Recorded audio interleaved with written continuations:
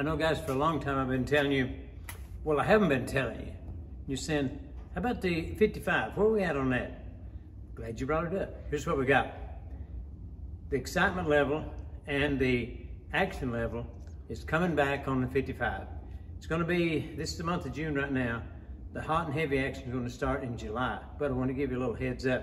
Of course, here's the car, and the body on this thing is actually pretty good.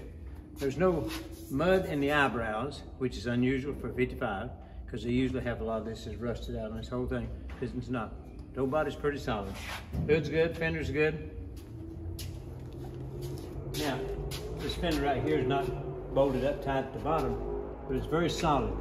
Solid around here, where the window goes, down through here in the track of the window. Dash is good on it, a little rust there, but that's all in the paint and covered up on it. Then we'll have Going back here. Door's good on it, no fold-ups up here. Quarter panel's real good on it. Top's good. Package tray is very good on it.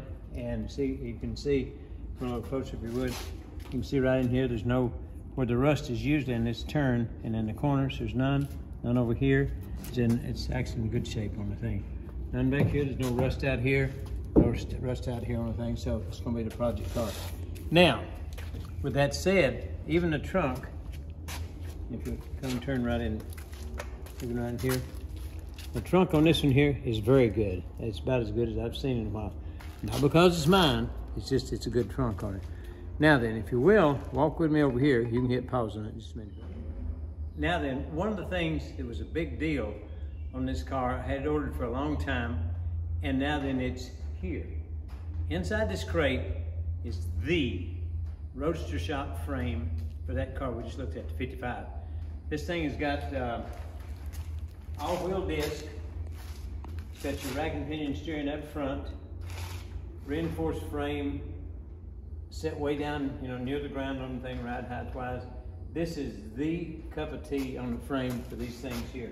So now that, and has also, this car will have, this car will have TBM brakes, they have TBM brakes all the way around. Now they have run the lines for me, you can see right here. Got a four link suspension. Look at that Ford 9 inch sitting over there. 360 gear in it already. And right back here,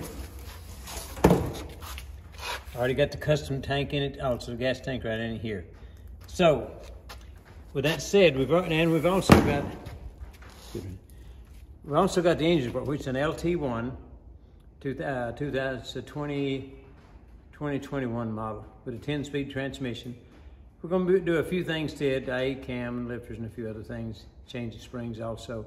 Should, and looking to have maybe five or 600 at the wheel on the street, which I know that that's not the 1,000 horsepower figure and all like that. But for what we're looking to do, we just want to make a nice drag and drive.